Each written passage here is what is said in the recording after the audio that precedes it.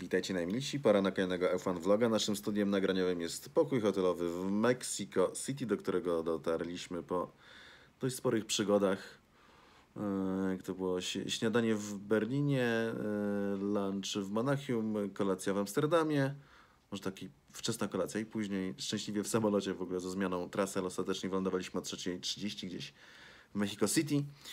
I no, pora zacząć wkręcać się w ten weekend wyścigowy, który będzie dość trudny, jeśli chodzi o nasze kontakty wideo ze względu na strefę czasową, dlatego postanowiłem dziś nagrać dłuższego fan vloga, zbierając pewne rzeczy, które się wydarzyły wcześniej, bardzo ważne, typu e, kara dla Renault, dyskwalifikacja, ale nie tylko, ostatnie wypowiedzi Roberta na konferencji Orlenu, podczas rozdania nagród, tego typu rzeczy omówimy dziś, a potem będziemy już lecieć takimi krótszymi strzałami, szybkimi strzałami, aż do niedzieli, gdzie pewnie po wyścigu trzeba będzie znowu pogadać trochę coś więcej.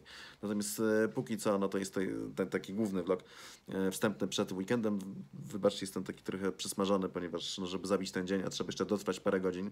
W Polsce jest teraz e, pierwsza 47, a jeszcze tutaj trzeba trochę jakby przeżyć, e, gdzieś do 5 rano w Polsce, żeby się wstrzelić w strefę czasową, no to tam warto się gdzieś rozejrzeć, no i była wycieczka na, na, na piramidy bez, bez filtra słonecznego i teraz tak wyglądam trochę burakowa to mówiąc delikatnie, ale przechodzimy do meritum. E, Robert, pamiętacie, był na konferencji Akronisa, którą zresztą e, wrzuciłem to spotkanie. Wydaje mi się, że bardzo fajne. Jak ktoś nie oglądał, bardzo polecam poprzedni, e, poprzedni vlog. E, Wydanie specjalne, nie tylko telemetrii, które też było w internecie, ale generalnie dużo tematów poruszonych. No, to co najważniejsze, no, żadnych zmian, jeśli chodzi o, o wiadomości na temat przyszłości, no bo po prostu jest jeszcze za wcześnie, ale potem były te same pytania na konferencji, na spotkaniu takim Orlenu, ja kilka cytatów tutaj zgarnąłem akurat e, z tego, z powrotu Roberta, spisane za, za, co, za co dzięki, e, za, za te materiały z tych ogólnych wypowiedzi. E, Co jeszcze Robert powiedział? Zresztą nie tylko Robert. Następnego dnia, kiedy, tak, kiedy już byliśmy w drodze do Meksyku. Jeśli ja chcę się ścigać, a nie ma miejsc, to niekoniecznie musi być to Formuła 1. Dość ciekawa jest to w ogóle forma. Jeśli ja chcę się ścigać, a nie ma miejsc, to niekoniecznie musi być to F1. Eee, No taki ciekawy jest tu ten tryb warunkowy. To jest taki tryb, który trochę by e, no, zdradzał, że być może jeszcze nie wszystko jest w tym temacie totalnie stracone. Chociaż teraz nie chcę tutaj wchodzić w jakieś e, głębsze manipulacje, bo nie ma sensu. No to jest po prostu kwestia tego, jak działa Formuła 1, rzeczy, które, no wiecie, nie ma umów do zerwania i tak dalej. Mówi się natomiast no, pojawiło się dużo głosów na temat tego, że Romeo Grożą może zostać po prostu odsunięty jeszcze przed startem sezonu. No, bardzo, bardzo w to wątpię. e, Z dwóch powodów. Po pierwsze, takich rzeczy po prostu się nie robi. Ktoś miał jakieś teorie, kilka było takich, że specjalnie podpisano Grożona, żeby podwyższyć w- jakby w, negocjacjach siłę przebicia hasa.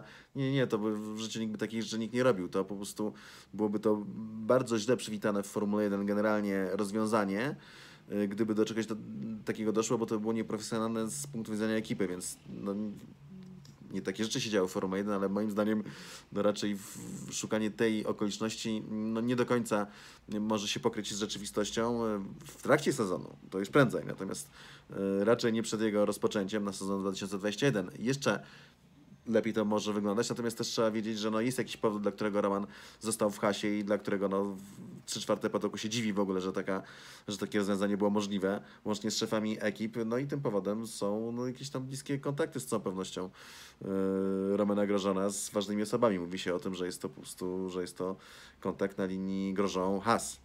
Natomiast to w to nie będziemy wnikać, tak czy inaczej jest jakiś powód. Więc y, tak Romana tak łatwo bym z fotela nie zrzucał, tym bardziej, że no, szczerze mówiąc nie życzę mu tego, żeby stracił to miejsce zanim jeszcze wystartuje. To by było bardzo nie fair wobec niego z tego względu, no, że skoro już ma podpisany kontrakt, no to znaczy, że powinien mieć szansę startu w przyszłym roku, tak? To, to raczej nie wchodzi w grę. Natomiast mi się wydaje, że no tutaj opcji jest y, wiele. Marka Orlen bardzo się rozwija, mówi Robert, i mam nadzieję, że ja dołożyłem do tego moją małą cegiełkę, ale o rozwój chodzi też e, i u mnie. Osób zdaje sobie sprawę, że po moim wypadku zaczynałem e, moją przygodę ze sportem praktycznie od początku. Chodzi o mój rozwój jako kierowcy i osoby. To, co e, powiedziałem, ma 100% sens. Jestem kierowcą i chcę się ścigać i mam nadzieję, że będę usatysfakcjonowany tym, co będę robił. Jeszcze raz znowu ten element satysfakcji, e, element tego, żeby, no, że- że- żeby te starty, żeby, żeby tak no, już ostatni etap kariery w wyścigach na najwyższym poziomie e, no, przyniósł coś więcej niż tylko robienie kółek e, tak w samochodzie na poziomie Williamsa, tak, czyli na poziomie poniżej Formuły 1. Zdecydowanie.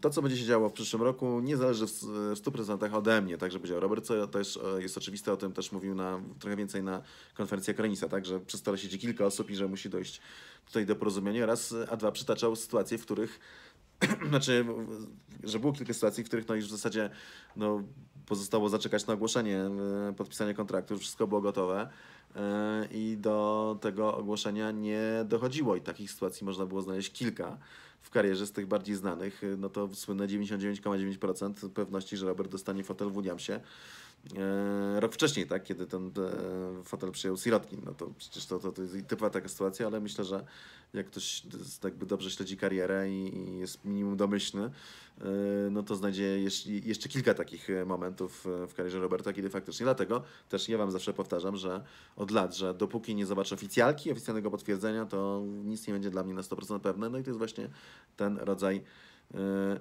myślenia. Poza tym jest jeszcze jedna rzecz. Podpisanie kontraktu z kimkolwiek w jakiejkolwiek kategorii to jedno, moment ogłoszenia kontraktu to drugie, dlatego że zazwyczaj kontrakty zawiera się do końca roku danego kalendarzowego. E, oczywiście to nie znaczy, że się zawsze trzyma w sekrecie do końca roku pewne rzeczy i, że się nich nie ogłasza. Natomiast co do zasady, trzeba mieć na względzie, że są to umowy, w które są zaangażowane różne strony, tak? E, I e, no, wydaje mi się, że nawet jeśli przyszłość Roberta będzie jemu znana i jego bliskim ludziom, na przykład za miesiąc, dajmy na to, no to cały czas y, ogłoszenie y, formalne może nastąpić na przykład 1 y, stycznia. No bo pewne umowy trwają do końca roku. Oczywiście z tego się robi wyjątki, natomiast no, trzeba mieć na względzie, że to jeszcze jest, może być ten rozdział, rozdźwięk, rozstrzał między samą decyzją, a tym, kiedy ta decyzja będzie oficjalnie potwierdzona. Wypowiedzi prezesa bardzo ciekawe, Daniela Bajtka. Rozmowy trwają, rozmowy są bardzo owocne i niczego nie wykluczają. To kwestia podejścia i siły przebicia. To dość ciekawe, bo trochę się nakłada na mojego e, poprzedniego vloga, kiedy analizowałem, analizowałem sytuację między Hasem a Orlenem, dowodząc, że to jest takie najkorzystniejsze połączenie, mimo tego, że Has no, na razie jakby zmierza bardziej w dół niż do góry i że jest to jakiś tam rodzaj ryzyka wynikowego, to mimo wszystko, biorąc pod uwagę wszystkie możliwości, jakie się wiążą z rozmowami z Hasem, typu właśnie e, zakres tej umowy i finansowe konotacje z tym związane i to, co jest możliwe do osiągnięcia, jeśli chodzi na przykład o składy i ewentualnie znalezienie miejsca dla Roberta, e, no to w tym momencie Has jest tym zespołem no, najbardziej korzystnym tak, z punktu widzenia Orlenu i zespołem, na który, w którym Orlen z całą pewnością będzie miał największą siłę przebicia, dlatego że e, no, w tej trójce, która jest wymieniana, czyli Haas, Racing Point i McLaren, e, no, Haas jest jakby najsłabszą ekipą, tak? jest też w naj, największej potrzebie, plus no, z całą pewnością też by docenił takiego kierowcę jak Robert, choćby ze względu, ze względu na jego, mm, na jego no, opinię człowieka, który świetnie się ogarnia, jeśli chodzi o wyczucie samochodu, i e, rozwój samochodu, plus jeszcze no, z całą pewnością, tak, w momencie, gdyby doszło do, do, do testów, no to szybko by się przekonali, że ten znak zapytania, który postawił nad Robertem Williams poprzez fatalną obsługę, jakieś swoje dziwne działania, on by zniknął po prostu. Po pierwszym teście by się okazało, że tej prędkości też nie brakuje, tak więc no tutaj no tutaj jest tak naprawdę najwięcej do uzyskania i to właśnie te słowa to kwestia podejścia i siły przebicia. One mnie no, bardzo mnie cieszą, dlatego że no, de facto potwierdzają dokładnie to, co mówiłem Wam we wcześniejszej analizie, także że tutaj, e, no, że Orlen tak naprawdę ma bardzo mocne papiery w tym układzie i że no, mam nadzieję, że sobie zdają z tego sprawę i że będą mogli je wykorzystać. I kilka dni potem takie słowa potwierdzają, zdaje się, e, tę tezę. Także wypowiedzi o negocjacjach. Chcielibyśmy skończyć całe negocjacje z końcem listopada. Może wcześniej i do końca listopada, może na początku grudnia, może na Mikołaja, czy może na Mikołajki, podać naszą decyzję. E, nasze dalsze działania promo promocyjne są już zaprojektowane pod F1, czyli tutaj jest, jest już przyznanie, coś co zresztą dowiedziałem od dawna, że, że tutaj no to nie jest tak na jeden strzał i to nie jest tak, że tutaj, że tutaj dla Roberta i tak dalej. Orlen chce być w Formule 1 niezależnie od tego, gdzie będzie Robert. Po prostu to jest dla nich bardzo dobra platforma, e, która się sprawdziła w tym sezonie, pomimo tego, co się dzieje w Williamsie, cały czas pod wieloma względami i to się sprawdziło bardzo dobrze. Z całą pewnością zyski są wiele większe niż, niż yy, wydatki. Yy, rozmowy są ciągle w toku i wszystko jest brane pod uwagę. Robert też uczestniczy w tych negocjacjach, yy, to ciekawe. Choć przede wszystkim uczestniczy w nich Orlen, ale nie mogę zdradzić szczegółów, bo to obniżyłoby moją pozycję negocjacyjną, słusznie zauważa prezes E, No jest sytuacja z Williamsem. Nie tylko Robert się rozstaje, także my. To jest biznes, to jest promocja, która nie może trwać jeden rok. Czyli znowu, to jest dlatego Orlen będzie dalej. Orlen ma plany i musi, i musi być w F1. No tutaj trochę powiedzmy też takie przyznawanie się otwarcie, że my musimy być w F1 i że już snujemy marketingowe posunięcia w, w związku z przyszłym rokiem, to jest, to jest trochę takie osłabienie, trochę inne pozycji negocja- negocjacyjnej, no bo partner, z jakimkolwiek nie rozmawiacie, już wie, że no ma ten rodzaj zaczepienia, że my musimy być w F1, tak? To jest komunikowane, no to znaczy, że po drugiej stronie może sobie na więcej pozwolić. Chociaż to też zależy oczywiście od zaawansowania negocjacji, od tego, ile jest jeszcze stron ewentualnie do rozważenia. Orlen musi budować markę i swoją rozpoznawalność. Robert jest trwale związany z Orlenem i sądzę, że nic się w tym zakresie nie zmieni. Sądzę, że nic się w tym zakresie nie zmieni. To sądzę, prawda? To nie jest, jestem przekonany, to nie jest pewne, to jest sądzę, że nic się nie zmieni. Czyli takie mocne 90%. Ale nie jest to. E, Prowadzimy negocjacje i za kilka tygodni poinformujemy Państwa wspólnie z Robertem, jak będą wyglądały losy Roberta w Formule 1 i jak będą wyglądały losy Orlenu w F1. Robert to jeden z najbardziej wartościowych polskich sportowców i ma ogromną rozpoznawalność poza granicami naszego kra- kraju. Robert to symbol walki, który powstał jak Feniks z popiołów. Bardzo fajne słowa też. No i oczywiście to jest uniwersalne i to jest oczywiście międzynarodowe, tak? To jest nie tylko, nie tylko Polska. Jesteśmy, zostajemy jeszcze na chwilę w Williamsie, bo no chcę wrócić do tych wypowiedzi George'a hamulcach, bo to jest znowu to jest coś, co się pokrywa z tym, co przewidywałem, że pod koniec sezonu będzie jeszcze gorzej i że dochodzimy do takiego momentu, kiedy e, no Williams no, nie był w stanie w ostatnich wyścigach złożyć nawet jednego samochodu dobrze. Przynajmniej do tego momentu, typu no, gdzieś tam przed Rosją, przy- przynajmniej auto George'a było jakoś tam jeździło. No, było jakie było, ale przynajmniej coś się dało z nim zrobić. Teraz od jakiegoś czasu także George zaczyna mieć problemy. Problemy, z którymi Robert boryka się od początku sezonu. Ostatni problem, co, co też Robert mówił no, nieraz i w pierwszej fazie sezonu, to hamulce, tak? Czyli, czyli hamulce, które po prostu źle działają. Najwyraźniej już i brakuje na samochód dla Russella. E, Odnosi się jeszcze do tego, co się działo w Japonii, także przyznał przez radio, że, no, że to było niebezpieczne i że rozważał wycofanie się w ogóle. E, Mieliśmy trochę problemów z hamulcami, to już potem jak emocje opadły. W, teraz już w kilku e, wyścigach, czyli to nie, nie zaczęło się dla niego na Suzuce. Natomiast no, z całą pewnością, sądząc po konstrukcji gramatycznej i po tym, co też się słyszało jakby od środka, jakby od kuchni, no to też nie od początku sezonu jak u Roberta, tylko raczej w, tych, w końcówce sezonu. E, Szczególnie było źle, w, tym wyścigu było szczególnie źle, e, kiedy hamując prawie do każdego zakrętu, nie miałem żadnej pewności w hamulce. E, To oznacza, że nie masz pewności e, podczas atakowania zakrętu i to e, pogarszało moje tempo. A to jest tylko jeden element, tak? Wyobraźcie sobie, co się dzieje, jak sam, cały samochód jest tak poskładany, jak te hamulce. Chodzi o powtarzalność, consistency, czyli to coś, co Robert od początku sezonu mówi, że ma z tym problem. Teraz to zaczyna dotykać tylko z racji hamulców, tak? Bo, a to nie tylko hamulce w samochodzie Roberta. Za- zaczyna dotykać George'a. Eee, na których okrążeniach to działa dobrze, na innych nie. Więc musimy się przejrzeć danym i zrozumieć czemu. No, Wątpię, żeby to coś dało grubszego. Mi się wydaje, że już do końca sezonu będzie to szło w tym kierunku. Eee, Kiedy masz do przejechania jedno pojedyncze okrążenie, możesz w pewien sposób e, sprawić różnicę, ale gdy są to dłuższe przejazdy, to się wyrównuje.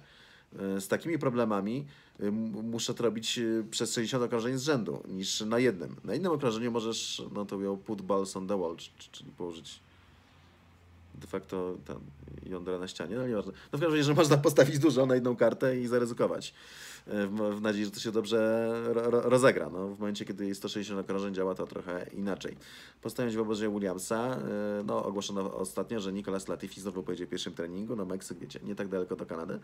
E, Pojedzie w samochodzie Roberta. Z tego, co rozumiem, to w zasadzie Latifi jest jedynym kierowcą teraz w tej trójce Williamsa, który no, prawdopodobnie zna najlepiej tor akurat tutaj w Mexico City, no ale wiadomo, są to oczywiście piątki już opłacone i to sowicie raz, a dwa, no Latifi raczej tutaj yy, no cały czas mocne papiery do startu w Williamsie, choć ostatnio tam trochę o tym przycichło, no ale mi się wydaje, że to jest cały czas kwestia negocjacji, no chyba, że, że Papa Latifi uznał, że jednak że może ten Williams nie jest tak dobrze, ale mi się wydaje, że, że, że, że nie, że oni wejdą to, wiecie, w ciemno i dopiero jak zaczną to naprawdę widzieć od środka, no to, no to wtedy sobie zrozumieją mniej więcej w, to, w co wdepnęli. No chyba, że oczywiście Williams pójdzie tą drogą, o której mówiłem. Jedyna droga ratunku dla Williamsa to jest jak największe związanie się z Mercedesem jak najszybciej. Coś, czego niby nie chcieli do niedawna, ale w zasadzie na tym etapie nie za bardzo mają wybór, no bo biorąc pod uwagę w jakim stanie rozkładu jest ten zespół e, i logistycznie, tak i organizacyjnie, tak, skoro jadą no, tak, na, na takim limicie części zamiennych przez cały rok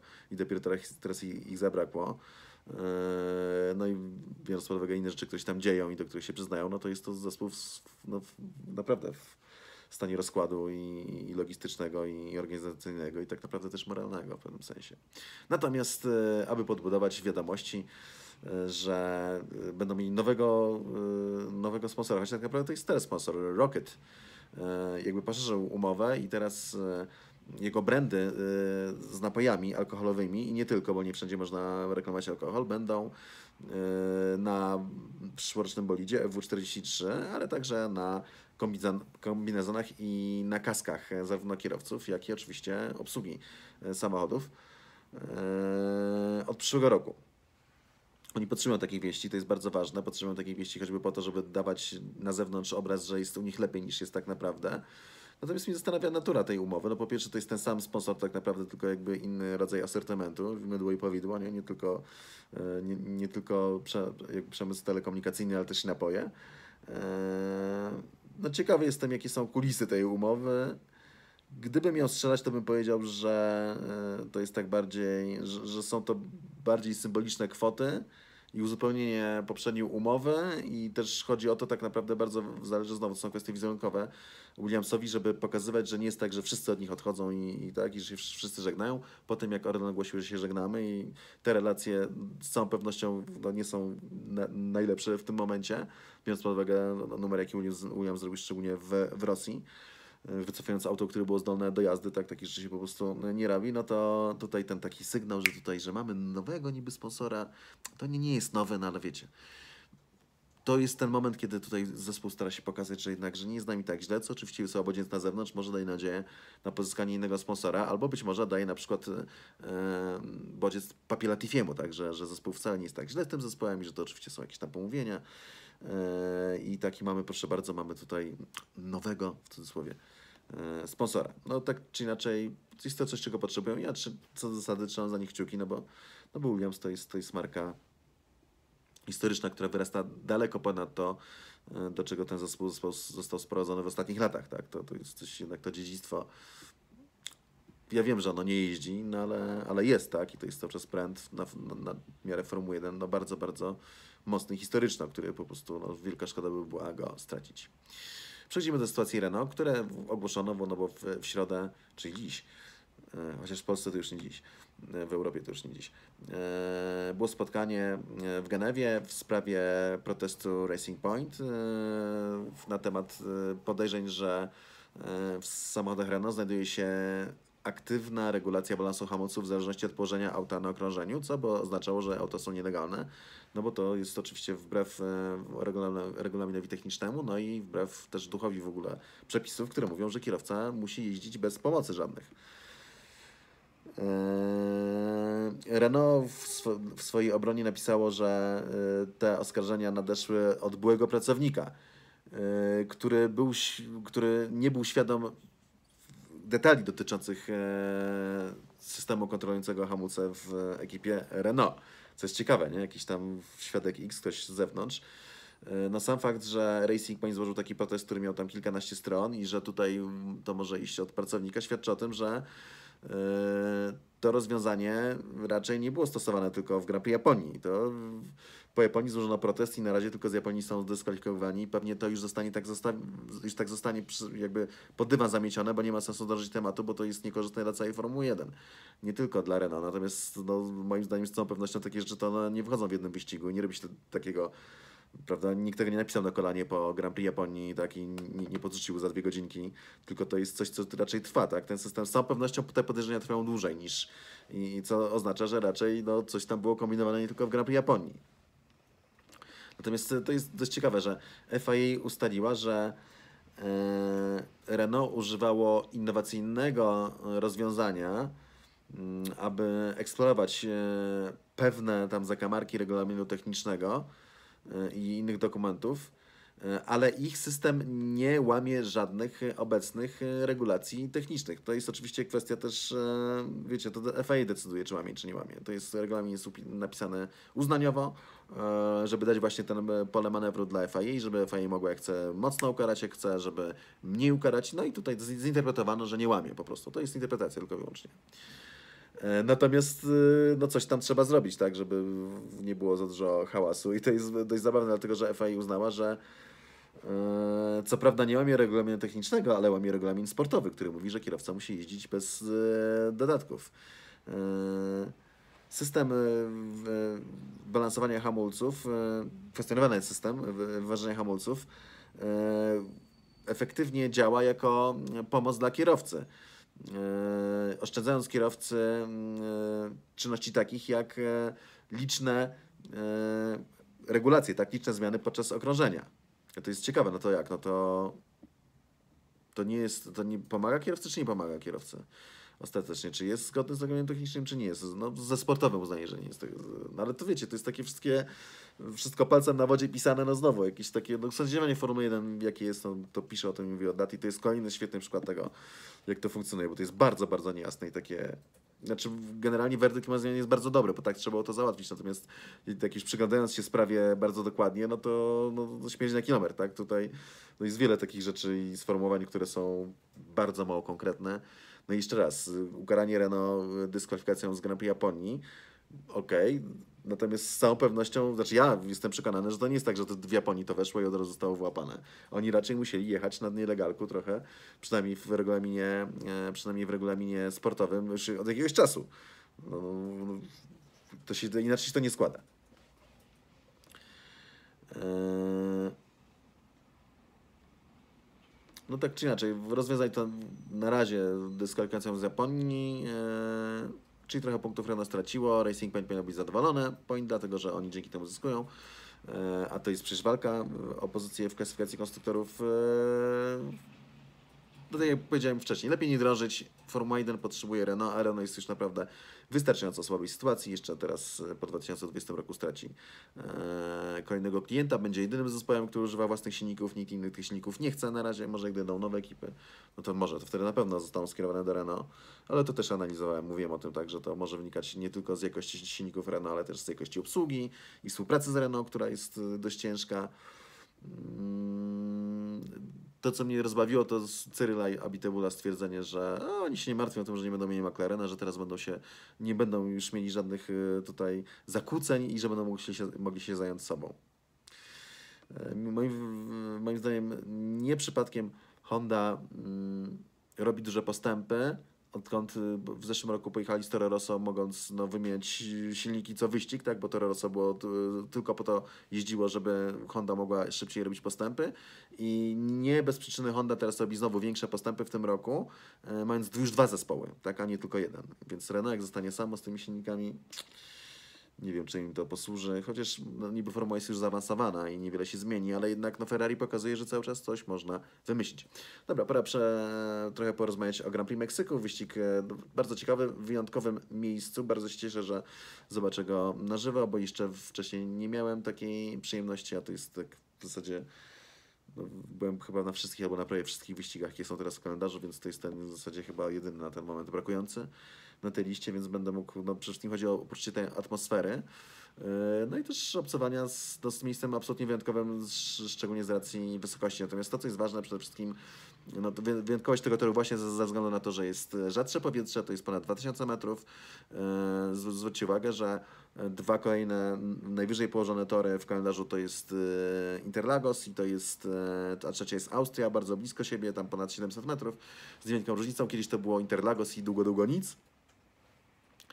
Tak więc no, to jest takie wejście na, na, wyżyny i to oczywiście uderza moc silników spalinowych, bo elektryczne, elektryczne mają mniejszy z tym problem, natomiast spalinowe oczywiście mniej powietrza, czyli no, spada mniej, mniej tlenu do spalania w komorze spalania, z czego się bierze mniej mocy, ale także, i to chyba ważniejsze, problemy z chłodzeniem, problemy z aerodynamiką, szczególnie z dociskiem i to sprawia, że naprawdę układ sił się mocno zmienia i to jest ten, mówiłem wam wcześniej, że to jest być może ta jedyna nadzieja, że w tych wyjątkowych okolicznościach, że Williams jakoś będzie miał jeszcze ten jeden wyścig że w którym coś tam będzie mógł pokazać. Chociaż teraz, kiedy już e, oba Williamsy Znaczy na pewno jeden jest lepszy od drugiego, no, no ale jednak kiedy już oba Williamsy mają jakieś tam problemy, jeśli chodzi o jakość ich e, złożenia, no to, no, no to może się to i nie ziści. Natomiast to ciekawe jestem, jak to się przełoży generalnie na osiągi, na osiągi tego zespołu. Kto wie, może jednak jakoś się, nie wiem, pozbierają na tę końcówkę sezonu. Nigdy nie mów nigdy.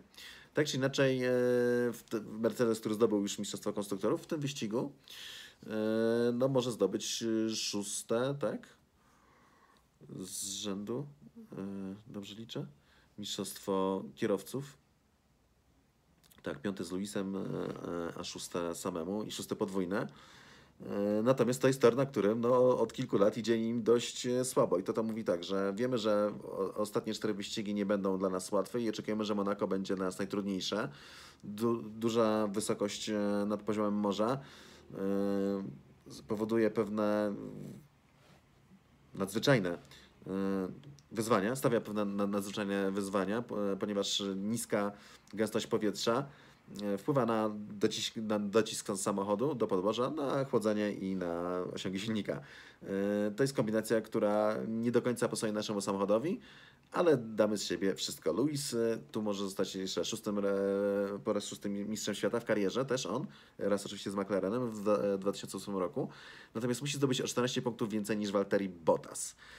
E, co ciekawe, w ostatnich dwóch edycjach Grand Prix Meksyku nigdy nie stanął na podium, natomiast w obu zgarnął e, Mistrzostwo Świata. Co też jest charakterystyczne w obu, zresztą walcząc z, z Walterem Bottasem, prawda? Myślę, że Meksyko to generalnie dla nas najgorszy wyścig roku, roku całego, ponieważ e, no, ze względu na to, jak nasz samochód jest ustawiony i to będzie dla nas trudny wyścig także tym razem. Ostatnich kilka e, Grand Prix Meksyku było dość szokujących, e, nawet jeśli wygrywałem e, w tych wyścigach tytuły. Mam nadzieję, że to będzie dla nas lepszy weekend, ale sądzę, że będzie bardzo ciężko pobić Ferrari na tych długich, prostych. Nie mamy żadnej nadziei, że uda nam się poradzić z nimi na prostych. Ale nawet patrząc na innych, McLareny bardzo poważnie rozpędzają się, jeśli chodzi o prędkości maksymalne, a także Red Bulle. Więc myślę, że to będzie trudny wyścig. Nie uważam, że to się wydarzy w Meksyku, czyli że zdobędzie to mistrzostwo w Meksyku. Myślę, że będziemy walczyć, walczyć jeszcze przez kilka dobrych wyścigów. Znaczy nie wiem do końca o co walczyć, bo no, jedynym rywalem jest Bottas. Bottas, który sam przyznaje, że w zasadzie no, to jest tylko formalnie, że oczywiście się nie podda do końca dopóki matematycznie jest to możliwe, no, ale, ale w jego obecnej sytuacji no to w zasadzie to jest kwestia tylko kiedy, a nie, a nie czy. Seb Vettel stawia na Red Bulla. Myślę, że całkiem słusznie. No, z drugiej strony Max mówił, że już do końca sezonu nie będzie wyścigów, które będą mogli wygrać, ale naprawdę nikt nie wie do końca, co się wydarzy w Grand Prix Meksyku ze względu na to właśnie, na te wysokości, na wyjątkowość tego toru. E, ja mam nadzieję, że znowu wygra Red Bull, co było dość ciekawe. Natomiast no, no Sep nie, ale Mattia Binotto jest innego zdania. Mówi, po dwóch wyścigach, w których e, mogliśmy sobie poradzić lepiej, przyjeżdżamy do Meksyku zdeterminowani, aby wygrać. E, będziemy celować w nasze e, szóste z rzędu pole position, mm, a potem będziemy chcieli to zamienić na zwycięstwo, czyli tutaj ambitne plany, szczególnie od strony szefa. No cóż, myślę, że te proste jednak Ferrari się przystłużą, natomiast Red Bull, Red Bull, zobaczymy. Pamiętajcie, że Max wygrał ostatnie dwa Grand Prix Meksyku. Kto wie, może zaliczy hat-tricka. Wówczas będzie kierowcą, który wygrał najwięcej w historii Grand Prix Meksyku. Trzy. Nikt, nikt nie wygrał więcej niż dwa. E, natomiast co jest ciekawe, od powrotu e, Meksyku do kalendarza w 2015 roku do kalendarza Formuły 1 pole position zdobywał zawsze inny kierowca. Najpierw był to Nico Rosberg, e, potem był to Lewis Hamilton, potem był to Sebastian Vettel i potem był to Daniel Ricardo. To co? Charles Leclerc? Jak sądzicie? Myślę, że będę trzymał kciuki. Fajnie było, gdyby był piąty. Co ciekawe, najwięcej pole position w tym wyścigu ma na koncie niejaki Jim Clark, czyli legenda wyścigu sprzed wielu, wielu, wielu lat, szkocki kierowca, farmer, hodujący owce, jak to się mówiło, który był kierowcą wyścigowym wybitnym. E, co ciekawe, ostatni raz w Grand Prix Meksyku e, Jim Clark startował 52 lata temu, ale rekordzik ciągle jest. Jeszcze wracamy do Soba Vettela, bo on bardzo fajnie opisuje wyjątkowe wyzwania e, tego toru. E, to oczywiste, że ściganie się na tych wysokościach e, ma wpływ na to, jak czujesz samochód. Jeździliśmy z maksymalnym dociskiem, jeśli chodzi o ustawienia, ale ponieważ się ścigamy tak wysoko, powietrze jest bardzo rzadkie i samochody tak naprawdę produkują bardzo niski docisk. Na e, długich, prostych myślę, że widujemy tutaj najwyższe prędkości maksymalne sezonu, e, co sprawia, że ciężko jest sobie poradzić w zakrętach, ponieważ mamy tak mało docisku, e, fizycznego docisku w samochodzie samochód mocno myszkuje, no bo ma mało docisku. Trochę taki efekt Monzy, tylko że chyba jeszcze, jeszcze większy, bo na, znaczy, no, na Mozie inaczej. Na Mozie się jeździ z najmniejszym dociskiem, z najmniejszym zestaw jakby aerodynamiczny produkuje najmniej nacisku, każdy kto, do, docisku, każdy kto może robi specjalne zestawy mm, aerodynamiczne, które no, kiedyś było tak, że na Monze się w ogóle szykowało tylko to, co działało tylko i wyłącznie na tym torze. Teraz no, się starają dzielić to jeszcze z kilkoma innymi, gdzie jest powiedzmy mniej potrzebnego docisku, ale generalnie tam jest mały. Natomiast tutaj w Meksyku, yy, mimo tego, że się stosuje największy docisk, no to w zasadzie mamy jeszcze wyższe prędkości i mamy ten sam efekt, że po prostu małego docisku. Yy, no, samochód się bardzo myszkuje. Yy, ciężko jest też sprawić, żeby opony działały i to może być duży problem w tym roku. Tak naprawdę ciężko jest sprawić, żeby cały samochód w ogóle działał dobrze i żeby się go dobrze czuło. Yy, okrążenie jest relatywnie krótkie, ale nie jest łatwe. Mówi o tym Seb Vettel. I to pokazuje, wydaje mi się, też stopień specjalizacji Formuły 1. No jest sporo osób, które mówią, że, że, że tam często krytykują, że jak się Formuła 1 nie ściga w deszczu. Natomiast no, fakt jest taki, że to nie jest tak jak w dawnych czasach i te samochody są jeszcze bardziej wyspecjalizowane i one są wyspecjalizowane głównie do jazdy po suchym torze, tak? Więc nawet włożenie deszczówek, które też z tego co mówią kierowcy często dość nie tylko są po prostu słabe cały czas, tutaj Pirelli się nie wygadzało Yy, no to mimo wszystko jeździmy samochodem, który jest bardzo, bardzo yy, specyficznie zrobiony pod bardzo konkretne warunki. I to też pokazuje właśnie ten yy, przypadek, dlatego że no, teoretycznie co to za różnica? Za różnica no my tak tego nie postrzegamy, że z, z, zmienia się wysokość, tak? No co to, no, 700 metrów czy, czy, czy 2200? My tegoż tak bardzo nie odczuwamy. Natomiast yy, samochody Formuły 1 bardzo. Aż do tego stopnia. E, no sądzę, że będą problemy z dogrzaniem opon, to ciekaw jestem, to może też przemieszać stawkę, że może być tak, że niektóre ekipy będą, poradzą sobie z tym lepiej, to też daje nadzieję Mercedesowi chyba, a niektóre ekipy mogą mieć ze względu na to właśnie, na te wysokości jakieś z tym problemy. To, to będzie moim zdaniem ważny czynnik. I to jest, co jest też ciekawe, że jest w Meksyku mało wyprzedzania. Mercedes obliczył, że to jest trzeci najgorszy wyścig, przynajmniej do, do, dotychczas był, jeśli chodzi o ilość wyprzedzania. Stąd e, FIA dodała trzecią strefę DRS. I z nich ciekawostek, to mnie naprawdę rozwaliło, e, to jak Formuła 1 się dobija do Miami, Race Fans ujawnia, że mm, na stronie F1 Miami GP.com, która należy, która należy dla, do, do Formuły 1 tak naprawdę, yy, oni opublikowali formularz petycji, yy, który należy wysłać no, rządowi, tak, władzom Miami. E, no to już wcześniej napisany formularz i zawiera między innymi zdanie jestem zszokowany, e, że, że, że także ta, ta komisja e, Miami nawet rozważa pomysł, żeby odprawić Formułę 1, żeby zrezygnować z tej wielkiej okazji, aby Formuła 1 się ścigała. E, szansa, aby ugościć e, event e, tej, tego rozmiaru, rozpoznawalny globalnie, jest bardzo rzadka i odpuszczenie tej szansy byłoby, źle by służyło całemu naszemu spo, społeczeństwu, tak, lokalnemu, community. Najważniejszy event wyścigowy na świecie chce się zadomowić w Miami. Y, byłoby to wielka szkoda i, i nawet takie ośmieszające dla Miami, y, gdybyśmy zrobili cokolwiek innego niż y, przywitali Formułę 1 z otwartymi ramionami. To okej, okay. być może nawet w pewnym sensie się z tym zgadzam, chociaż Amerykanie mają swoje własne sporty, swój własny rynek i też sobie dobrze z tym radzą. Ja nie mówię, że IndyCar jest lepszy od Formuły 1, bo nie jest lepszy z całą pewnością, natomiast no, jakoś sobie, wiecie, mają też NASCARy, radzą sobie, nie, nie, nie patrzą tak, nie postrzegają tak świata, natomiast patrząc na to, że Formuła 1 robi takie rzeczy, że, że takie formularze daje w ogóle do wypełnienia fanom, żeby, żeby za, przyklepać wyścig w kalendarzu, który już miał być w przyszłym roku, ale Miami się nie zgodziło i, i ma być w kolejnym, no to jest to moim zdaniem takie trochę kompromitujące dla Formuły 1 i wręcz niegodne. E, I to jest coś, co za Berniego by raczej nigdy nie miało miejsca, bo to takie na kolanach przyjście. Z drugiej strony oczywiście e, Formuła 1 potrzebuje Stanów Zjednoczonych. Nigdy tak naprawdę Formuła 1 w Stanach się jakoś za do, na, na, na dobre nie zadomowiła, nigdy nie podbiła tego rynku.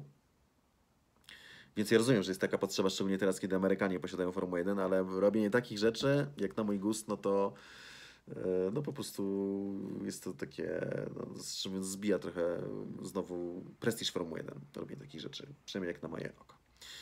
Z innych e, ciekawych e, ploteczek, Alfa Romeo może się wycofać z Formuły 1. Krążą takie, to są plotki, plotki. No bazą mają być rozczarowujące wyniki, natomiast tak się zastanawiam, czego nie oczekiwali, że co, że tym jeszcze biorąc pod uwagę, że Alfa Romeo, że, że Alfa Romeo czy Sauber de facto, bo to jest ciągle, no się nie nazywa Sauber, ale to jest inna firma, Podkreśla, że oni nie są teamem satelickim Ferrari, co, co prawda zatrudniają kierowcę Ferrari i używają silników Ferrari jeszcze kawał jakichś komponentów tylnej części samochodu od Ferrari, aczkolwiek nie w takim zakresie, jak używa tego Haas, natomiast cały czas podkreślają swoją niezależność. Dlaczego oczekujecie od, od Alfa Romeo, że, że będzie wygrywała z Ferrari? Że będzie walczyła z Mercedesem? No, Alfa Romeo jest na tym poziomie, na jakim można oczekiwać, że będzie. No, ewentualnie, że będzie dobijała do piątki, natomiast John Saward E, mówi, że tylko się oni do kamery uśmiechają, a wewnątrz wrze. E, co jest o tyle interesujące, że tutaj jest też wspominałem, że nasze brytyjskie media, e, propaganda chętnie krytykują zagraniczne zespoły, natomiast zastanawiam się, dlaczego nie mówi więcej Joe o tym, co się dzieje w Williamsie, którego bardzo broni generalnie. Wydaje mi się, że sytuacja w Williamsie jest o wiele gorsza niż w Alfie Romeo. Zresztą wydaje mi się, to pokazują wyniki, tak, to jest oczywiste i nie tylko wyniki, to jest widać jak na dłoni. Natomiast to ciekawe, że, ten, że, że z Alfie Romeo to można mówić takie rzeczy, a Williams jest ciągle super, nie? Tylko miał jednego złego kierowcę. Natomiast wracając do Alfa Romeo, mówi się, że Honda może być zainteresowana, żeby po prostu mieć jakiś swój drugi zespół Formuły 1, być może trochę bardziej swój, aczkolwiek ponoć już nie w takim rozmiarze, jak myśleli wcześniej, że już nie fabryczny, tylko może jakiś, nie wiem, większa współpraca, tak czy inaczej. Ja tam trzymam kciuki głównie za Saubera, tak? To jest ekipa z już całkiem niemałą historią od 93 roku Formuły 1. No i wydaje mi się, że bliska też sercu niejednego Polaka, no bo jednak to tam, to tam e, tak pierwszy Polak pojawił się w Formule 1 e, i to od razu no, z grubej rury, tak, w teamie fabrycznym, zastępując mistrza świata byłego. No fakt faktem, że wtedy rządziło tym BMW, no ale ciągle było to BMW Zauber i no, tam był wtedy taki podział trochę, że była część rządząca niemiecka i część szwajcarska, tam były tarcia między nimi wewnętrzne, ale jakoś się dogadywali do tego 2008 roku, do Grand Prix Kanady, tak, potem się to zaczęło wszystko toczyć w bardzo złym kierunku zmieniał obóz. Teraz jeszcze na koniec trochę chcę powiedzieć o Red Bullu, bo kilka takich bardzo ciekawych rzeczy. Jedno to, że Max przyznał, że brakuje Daniela Ricardo i to jest, lubię się na ten, ten temacie skupiać, bo no, od początku podkreślałem, że brak Ricardo będzie bardzo bolesny dla Red Bulla, bo nie mają nikogo na to miejsce, który był po prostu uzupełnił tę lukę, co się oczywiście teraz e, potwierdza. Różnica w porównaniu z poprzednimi latami polegała na tym, że w piątkowych e, treningach mogliśmy iść w dwóch różnych kierunkach, jeśli chodzi o ustawienia. E, w ten sposób mogliśmy razem pracować i ostatecznie znaleźć najlepszą kombinację albo pójść w jednym konkretnym kierunku. Ale jeśli jedziesz na zespół, którego nie zna debiutant, czyli na przykład Alex Albon, nie możesz oczekiwać, że będzie się zajmował ustawieniem samochodu on wówczas, yy, yy, tak, aby to robić, on musi znać swoją robotę. Yy, więc zazwyczaj próbujemy różnych rzeczy tylko po mojej stronie garażu, czyli no, biedny Max bierze na siebie dostanie samochodu. No proszę bardzo, brakuje Daniel Ricardo, prawda? Ciekawe, czy nie zabraknie Maxa. A skoro już o tym mowa, no to teraz Christian Horner uspokaja. Nawet ciekawa, a wręcz też delikatnie tak paluszkiem tutaj, e, delikatnie bardzo, bo wiecie, oni nie chcą regenerować Maxa i Josa, bo de facto Max i Jos trzymają ich trochę za kochones, nie, te bycze, mówiąc szczerze w tym momencie, no bo jak Max odejdzie, no właśnie, bo tutaj o tym mówi Horner. E, trzeba, trzeba jeszcze raz wspomnieć, e, wrócić do tego, że obaj byli zaniepokojeni i ojciec i syn tym, co się dzieje w Red Bullu i Max mówił, że no sorry, ale to nie, nie jest tak, jak miało iść i mówił o tym, że Musimy sprawdzić, czy będą spełnione pewne obietnice. Jos powiedział, że zapowiada się na to, że także sezon 2020 będzie stracony, biorąc pod uwagę to, jak spowolnił z rozwojem swojego samochodu. E, Red Bull. I co na to mówi Christian? Politykuje bardzo. Mówi tak, Max jest e, bardzo... Max to osoba, która bardzo różni się od swojego ojca. E, widzi wszystko jakby w większym zakresie. był w Sakurze, tak, czyli w siedzibie e, Hondy e, i zobaczył, e, co nadchodzi, tak, czy co, co się jeszcze tutaj pojawi. E, I widział zaangażowanie Hondy, jeśli chodzi o rozwój silnika i e, zaangażowanie w F1. E, W fabryce widzi, co się dzieje, także oczywiście w fabryce Red Bulla. E, Więc myślę, że a, a, więc myślę, że e, wyścigowi tatusiowie e, czasami mogą być trochę zbyt podekscytowani, czy nawet podnieceni. No to nie tylko z tego wynika, to jest osobne, osobne uzasadnienie, chyba na osobny program na temat tego, jak no, jak najlepszej wierze ojcowi, którzy są zazwyczaj autorami, znaczy rodziny generalnie, no ale zazwyczaj to tata bardziej przy tych kartach biega. Nic nie mówiąc mamą, naprawdę mają też ogromną rolę, tak samo jak, jak było w przypadku i Roberta, tylko że ona jest powiedzmy e, no, mniej oczywista z takich czy innych względów. E, Natomiast ostatecznie to ojciec jest tam tak tą twarzą zazwyczaj, jeśli chodzi o, o, o syna w sporcie motorowym i tym powiedzmy koniem pociągowym organizującym, więc, więc no, be- bez, no, bez rodziców tak i, i bez niego wiele karier by się nie odbyło.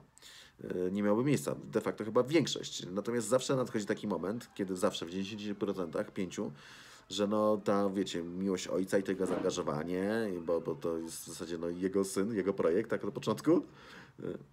Chociaż mówi się, że jest bardzo wysoki odsetek. e, Nie wiem, bo, bo to mówię teraz, może jestem po prostu już totalnie śpiący i zmęczony, że, że, bo to jest interesujące, że jest sporo odsetek e, ojców, którzy de facto nie są do końca synami swoich dzieci. No ale może nie mieszajmy tego z tym tematem. Tak czy inaczej, no to ojciec sukcesu, tak się przyjmuje, e, osoba, która to ciągnie, natomiast nadchodzi moment, kiedy to zaczyna przeszkadzać, kiedy dziecko wchodzi na ten wyższy poziom, serie juniorskie, albo nawet Formule 1, kiedy to po prostu, no jest czynnik, który i przeszkadza młodemu kierowcy i też wprowadza zamieszanie w zespole.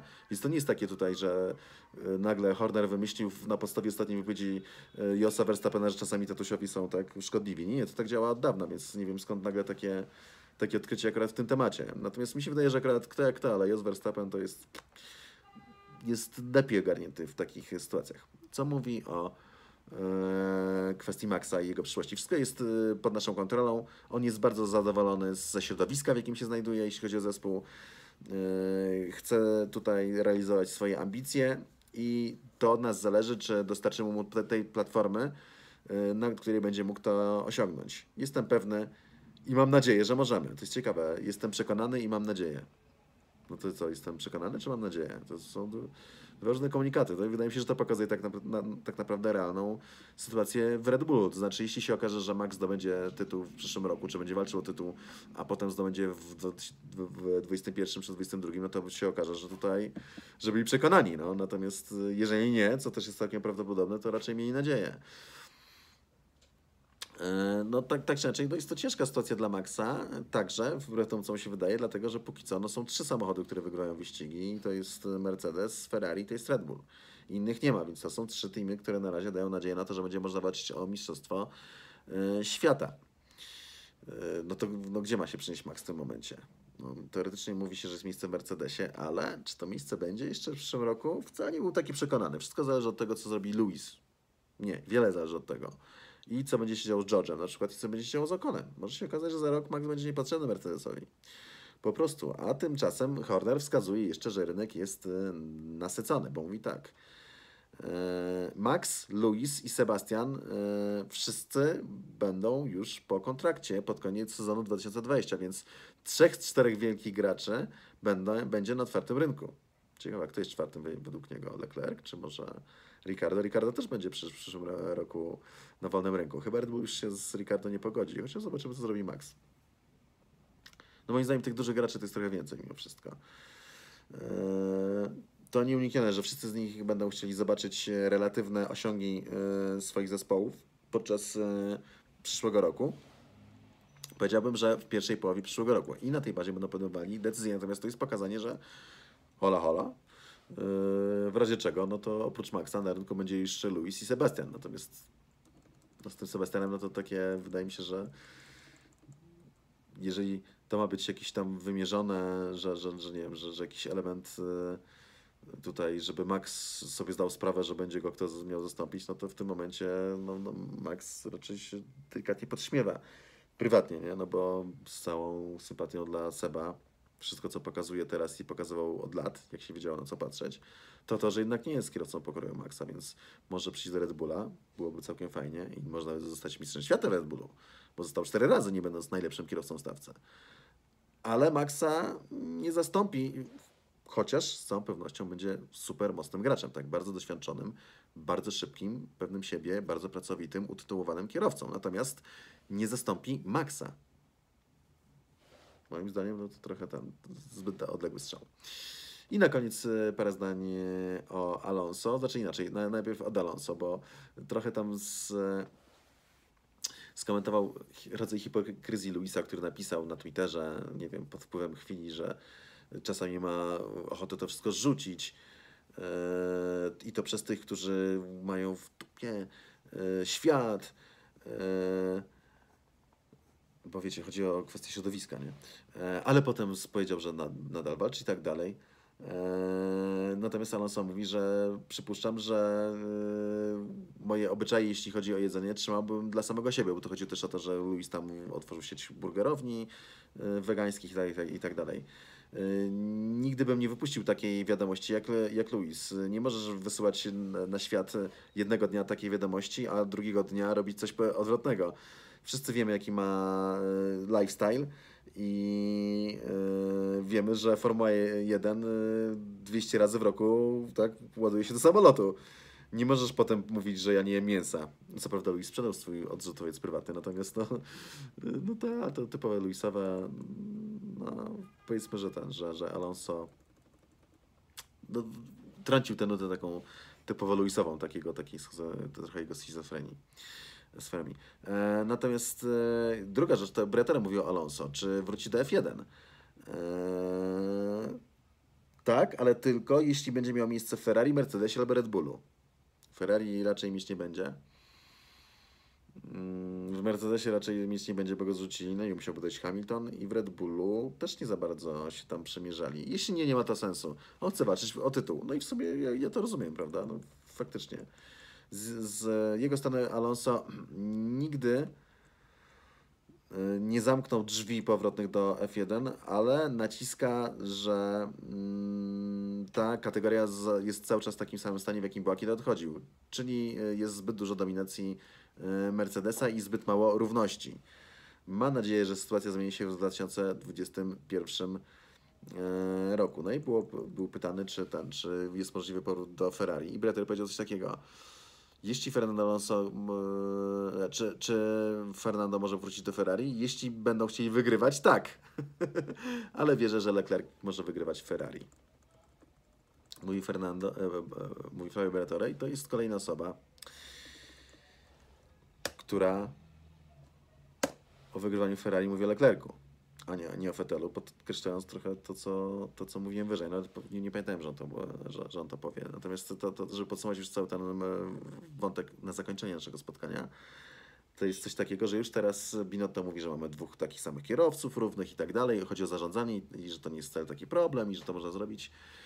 E, Sukcesem Leclerca nie jest to wcale, że e, tak naprawdę jest lepszym kierowcą od Vettela i to widać, jak ktoś wie na, na co patrzeć. E, Jego sukcesem jest już to, że w drugim sezonie startów w Formule 1 i w pierwszym sezonie startów Ferrari jest już powszechnie uważany za kierowcę, który jest minimum na równi z Vettelem. I to jest już coś nadzwyczajnego. I to oznacza, że tak naprawdę nie jest to równi z Sebem. Tak naprawdę oznacza, że jest kierowcą z wyższej półki. I to oznacza także, że Fernando Alonso, jeżeli Leclerc, a na pewno wyeliminuje te swoje błędy i te, no, jest jeszcze młodym kierowcą bardzo. Kiedy z tym wszystkim dojdzie do ładu, no to e, Fernando Alonso nie będzie już Ferrari potrzebny. Dobra, tyle jeśli chodzi na dziś. Jutro oczywiście wracamy z szybkim strzałem. E, Po wypowiedziach te wypowiedzi będą bardzo późno. Więc, więc no, no, wiecie, takie warunki mamy, tak, że niestety strefy czasowe się różnią na Ziemi i, i no, będziemy trochę robić w innym trybie, ale nie obawiajcie się, póki co nie planuję robić sobie przerwy, tak więc do zobaczenia wkrótce.